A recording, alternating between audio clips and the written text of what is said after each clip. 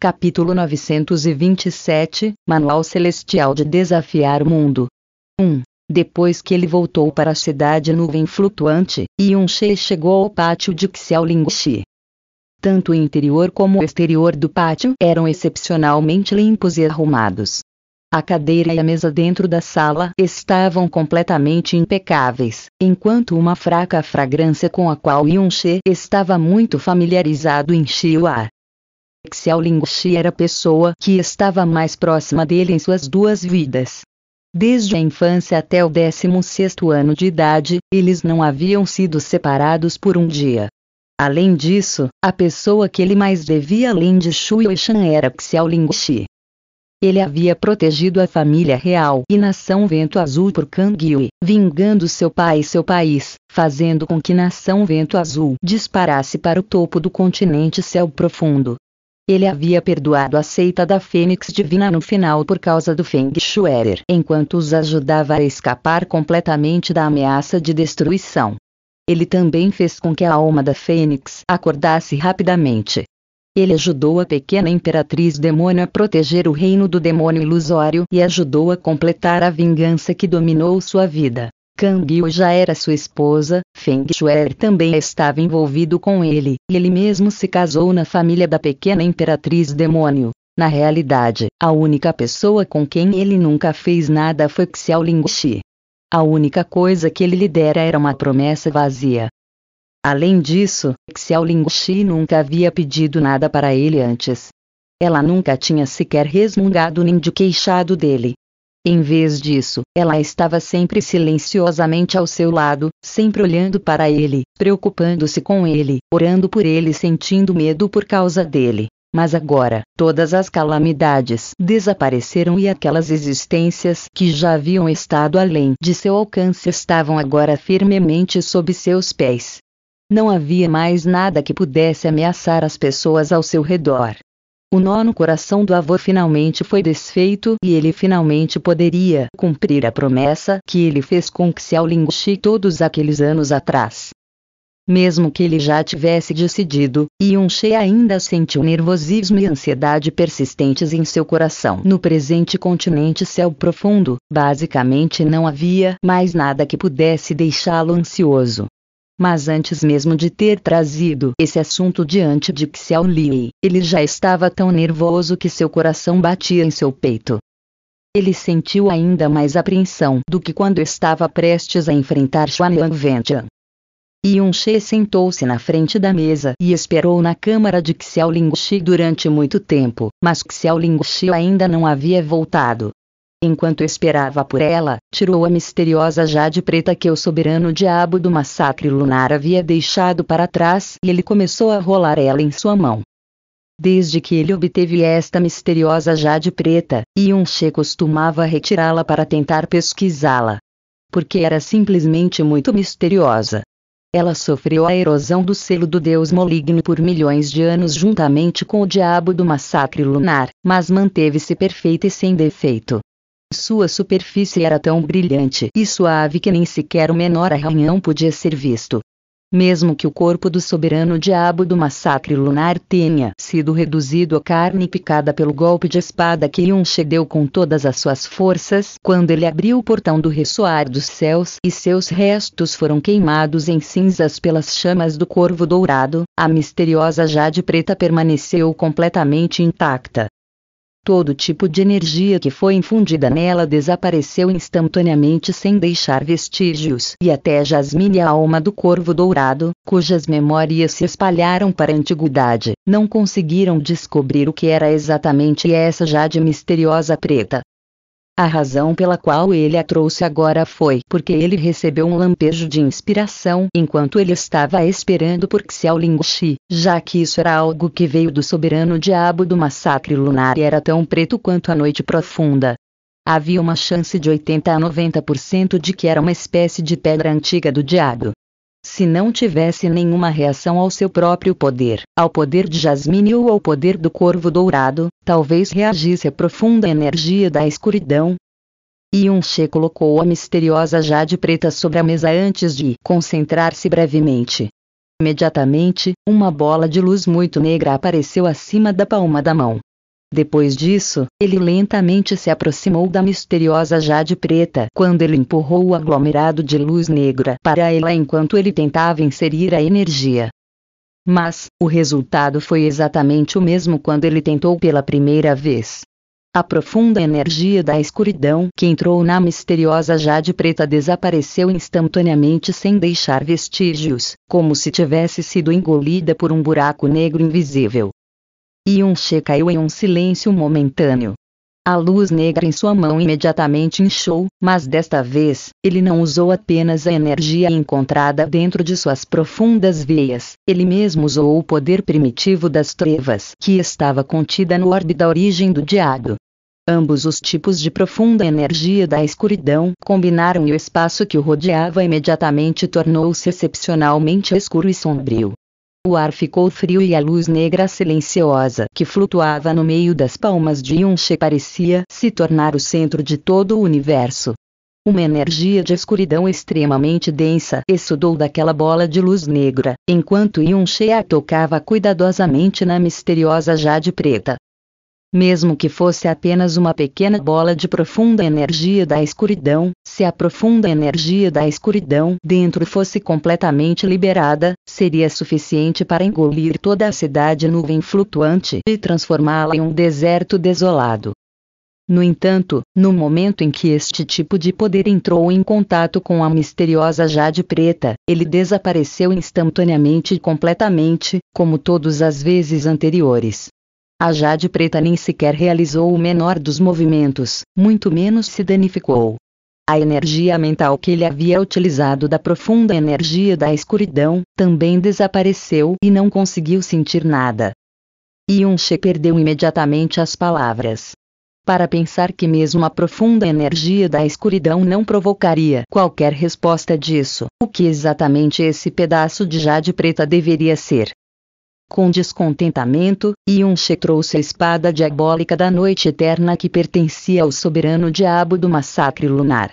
Primeiro, ele tocou o corpo da espada contra a misteriosa Jade Preta, mas depois disso, ele concentrou sua profunda energia e fez a espada brilhar com luz negra antes de empurrá-la para a Jade Preta. O resultado que se seguiu ainda não provocou nenhuma reação alegre dele. Ele tentou vários meios para infundir energia a esse objeto, mas toda vez que ele fazia, a energia desaparecia sem deixar rastro. Mesmo se você jogasse um boi de argila no mar, isso ainda causaria algumas ondulações pelo menos. Mas a energia que entrou nesta misteriosa jade preta simplesmente desaparecia sem deixar rastro. Na verdade, nem mesmo um único som foi feito à medida que a energia desaparecia. Eu ainda não estou convencido. Yun-She agarrou a espada diabólica da noite eterna enquanto ele começou a concentrar a profunda energia da escuridão em sua mão mais uma vez. Mas, neste momento, de repente percebeu que a aura de Xiaolingxi se aproximava. Ele rapidamente arrumou a espada diabólica da noite eterna e retraiu sua profunda energia da escuridão. Depois disso, ele varreu sua mão freneticamente, dispersando completamente a energia da escuridão que demorou na área para evitar que isso prejudicasse Xiao Lingxi. Depois de ter feito tudo isso, a figura de Xiao Lingxi apareceu na frente da sala. No momento em que ela viu Yunche, seus lindos olhos se iluminaram ela falou com um sorriso alegre no rosto: Pequeno She, eu ouvi do pai que você havia retornado. Eu procurei de um lado a outro por você e eu até esperei em seu quarto por um bom longo tempo. Mas pensar que você realmente ficou correndo por aí, eu tive uma questão para atender, então eu saí por um tempo e um She levantou-se e sugou uma pequena respiração de ar antes de falar com uma voz determinada, Lingxi, vamos. Nós vamos ver o avô juntos. Ah, a aparência séria e solene de Yunche causou uma aparência de suspeita aparecer no rosto de Xiao Lingxi. Você não chegou do lugar do avô agora mesmo. Então, o que aconteceu desta vez? E, essa pedra em sua mão é tão bonita, esta é a primeira vez que eu já vi uma luz tão fantástica e exótica. A misteriosa jade preta ainda estava deitada na mesa enquanto Yun She não o havia retirado a tempo. Yunche imediatamente disse: Esta pedra foi algo que eu peguei de um certo lugar, eu simplesmente não consegui descobrir exatamente o que deveria. Antes que Yunche pudesse terminar sua frase, ele abruptamente parou de falar. Lingxi acabou de dizer que viu luz?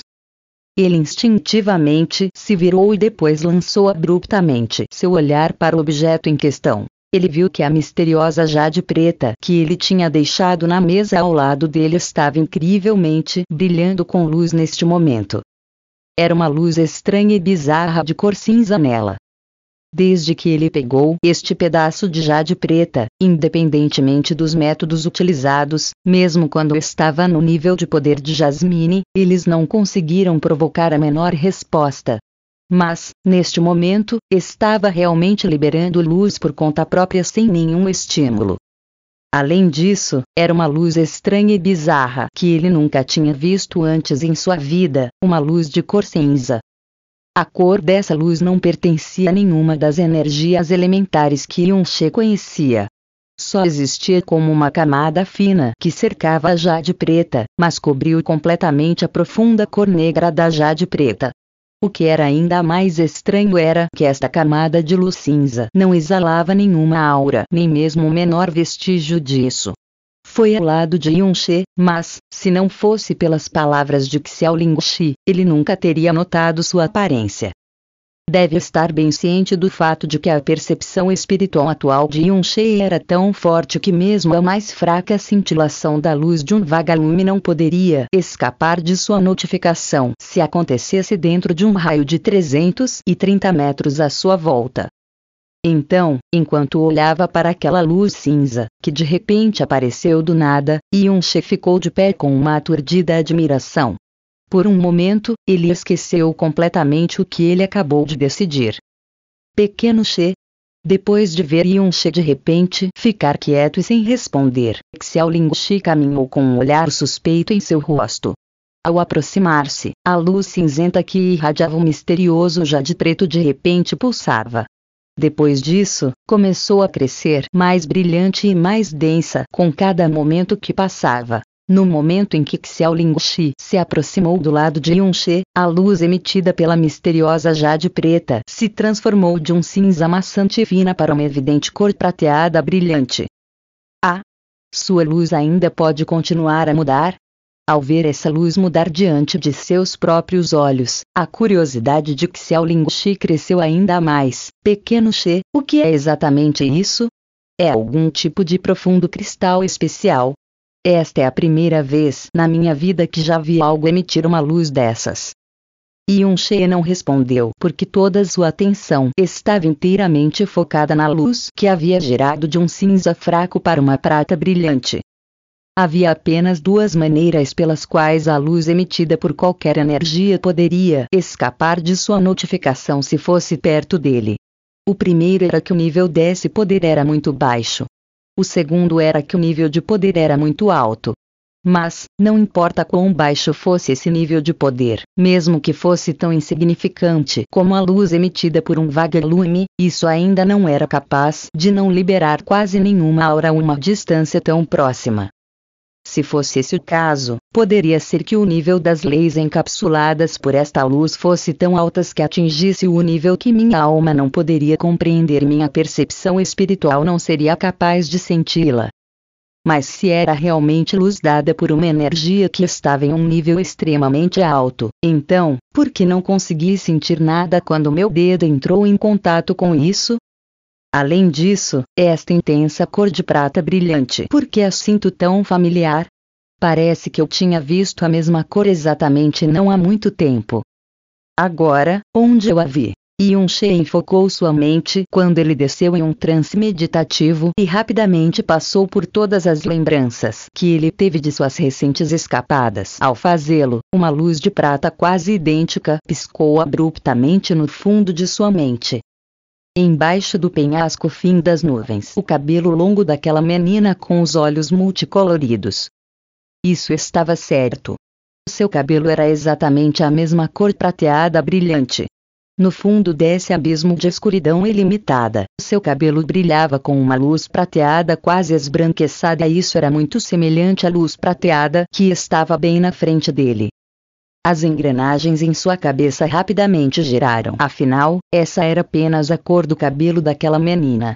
Além disso, ela também era um corpo espiritual ilusório e mesmo que as duas cores fossem muito parecidas, era apenas a cor coincidentemente correspondida a cor do cabelo de uma pessoa e a cor emitida por um pedaço de jade preta primordial não devem ter nenhuma conexão.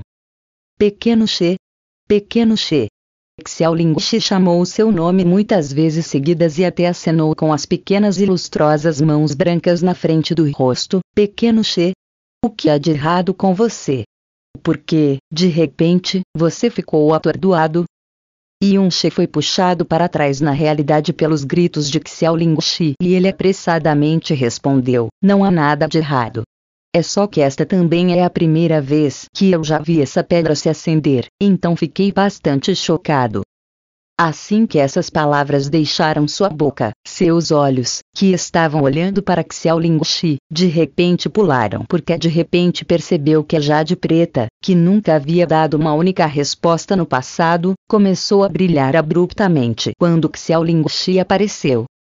Além disso, o brilho foi lentamente transformado de uma cor cinza em uma prata intensa e brilhante. Isso também aconteceu enquanto Xiao Lingxi se aproximava disso. Isso foi. Isso não está certo. Isso deve ser pura coincidência. Como Ling Shi poderia ter alguma conexão ou suscitar alguma reação de algo que pertencesse ao soberano diabo do massacre lunar? Embora seu coração estivesse negando isso, ele não conseguiu dissipar suas suspeitas. Ele hesitou por um momento antes de falar. Ling Shi, você pode tentar algo para mim? Mova alguns passos para trás. Ah, os lábios de Xiao Lingxi se abriram um pouco. Mesmo que ela não conseguisse entender a razão por trás disso, ela ainda recuou alguns passos. Como isso? Quando Xiao Lingxi recuou, a luz emitida pela misteriosa jade preta começou a enfraquecer. Cada passo que Xiao Lingxi recuou causou a luz dela enfraquecer proporcionalmente também. Depois que ela recuou quatro passos e ficou no lugar, a luz emitida pela jade preta também se estabilizou imediatamente e parou de mudar. Yunche,